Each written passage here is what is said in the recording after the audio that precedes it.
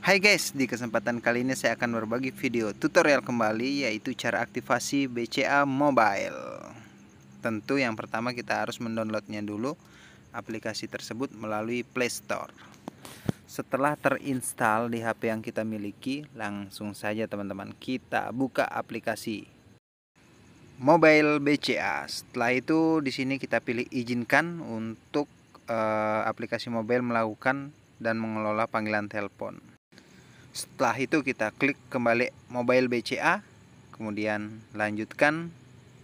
Setelah itu izinkan BCA Mobile mengakses perang, uh, lokasi perangkat.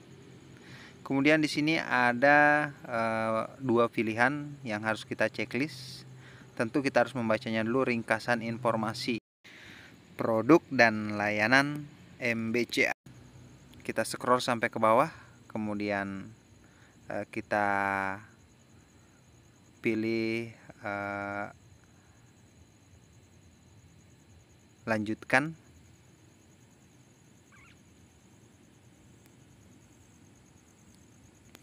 Setelah itu kita klik setuju.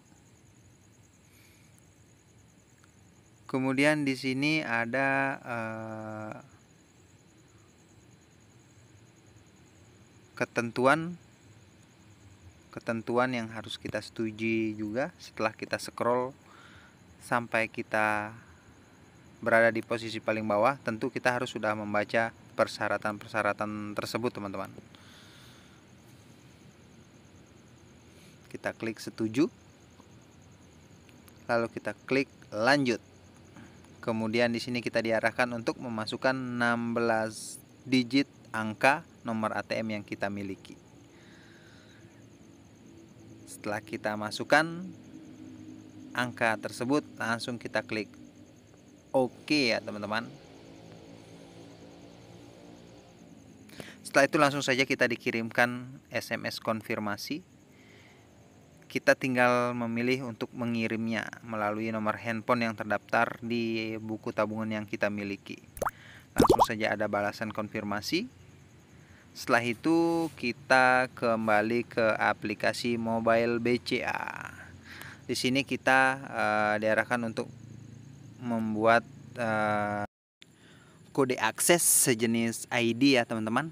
Uh, 6 karakter bercampur huruf besar, huruf kecil dan angka.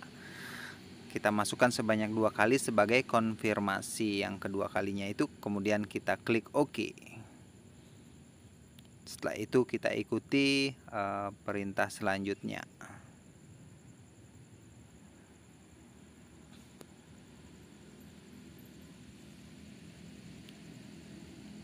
Menunggu proses sejenak.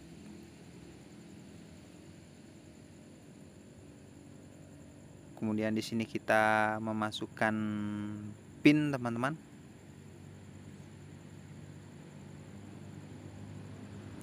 setelah itu kita send atau simpan kemudian kita klik OK. Nah di sini kita pilih lanjut. Setelah itu kita pilih izinkan kemudian izinkan kemudian kembali ke halaman utama.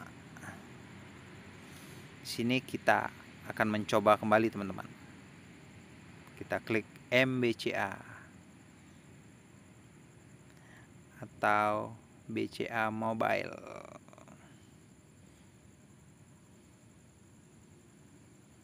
Kita klik, kemudian kita masukkan uh, kode akses. Setelah itu kita izinkan. Setelah kita berada di menu utama, kita pilih info. Kemudian cek informasi saldo. Nah, di sini kita dikirimkan kode OTP secara otomatis akan masuk teman-teman uh, ke aplikasinya. Di sudut bawah kanan kita pilih izinkan. Jadi kita langsung send saja. Di situ ada pilihan send. Nah, langsung saja teman-teman, aplikasi mobile BCA yang kita miliki sudah bisa kita gunakan. Di sini saya coba cek info saldo. Masih nol saldonya ya, teman-teman. Oke, mungkin uh, demikian teman-teman. Uh, caranya sangat mudah, bisa dilakukan sendiri di rumah. mengaplikasikan mobile BCA mirip-mirip dengan uh, aplikasi mobile banking lainnya teman-teman. Mungkin demikian, semoga bermanfaat. Mohon dibantu untuk subscribe. Salam sukses dan salam semangat.